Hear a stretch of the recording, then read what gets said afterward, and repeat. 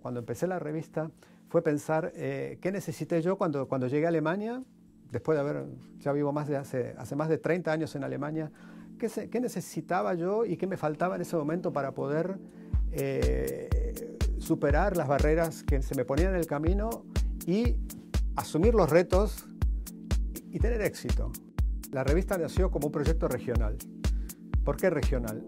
Porque se basa mucho en eventos, en personas, en servicios y productos que el 80-90% se ofrecen solamente regionalmente.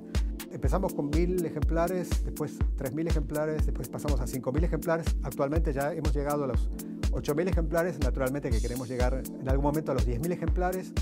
Pero hasta ahora hemos avanzado en el número de ejemplares que se distribuyen en más de 175 locales, sobre todo en Frankfurt, Wiesbaden, Mainz, eh, Darmstadt, Marburg, Gießen en Aschaffenburg. El contenido inicial eran los eventos más los profesionales que hablaban español o abogados o, o diferentes personas que ofrecían sus servicios en español. Existe una cantidad de personas que colaboran con la revista, que producen artículos para la revista y envían sus materiales.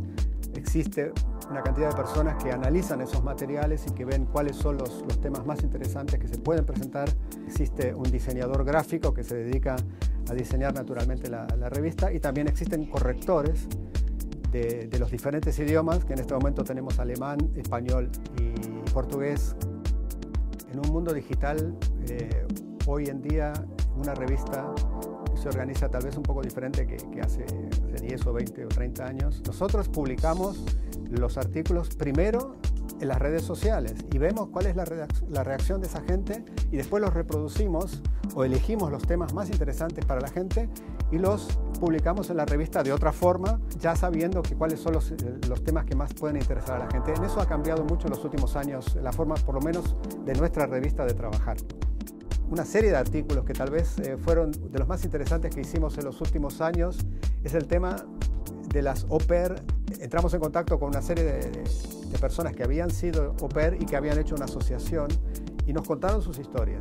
Y eso, sobre la base de eso hicimos una serie de artículos que sabemos que, que eh, creó, eh, atrajo mucho el interés de, de, los lectores. Con ese artículo sobre au pair, estas chicas eh, que, que, a las que le hicimos la entrevista, eh, nos comentaron de los problemas que habían tenido, pero en general eran historias de éxito finalmente y eso me, nos pareció algo positivo para presentar al público, en este caso a los lectores de la revista.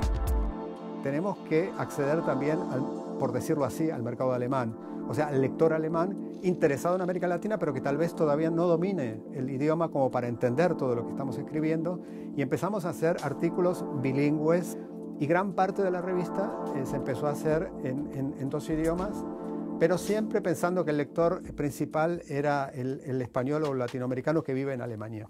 Y la revista es un medio, un medio también de, un puente entre, entre, ambas culturas. La aparición de Facebook cambió mucho la forma de, publicar, de, comunicar, de la forma en que la gente lee. Algo que nos llamó la atención es el, hecho de que la gente se acostumbra a leer textos más cortos y a querer una satisfacción de, la información inmediata. Y desde entonces ha cambiado mucho la forma en que la gente interactúa. También nosotros participamos no solo en el mundo digital eh, con una página web propia. Como plataforma vamos a continuar y vamos a continuar expandiendo en el sentido de, que podemos alcanzar a cada vez más eh, lectores. Bueno, en estos eh, 10 años hemos publicado ya más de 60 números, 60 números eh, donde hemos atravesado diferentes fases, también hemos tenido la crisis económica del 2009, 2010, donde hemos, eh, estuvo eh, parte en peligro el proyecto en su totalidad. Para nosotros es naturalmente un gran orgullo poder haber llegado a, a, a 10 años de, de la guía. Gran parte de la distribución se hace realmente por las personas de la revista, personalmente, y otra parte a través del correo, del correo nacional. Pero llegar a esas 175 locales no es fácil y cada dos meses tenemos que hacer esa distribución.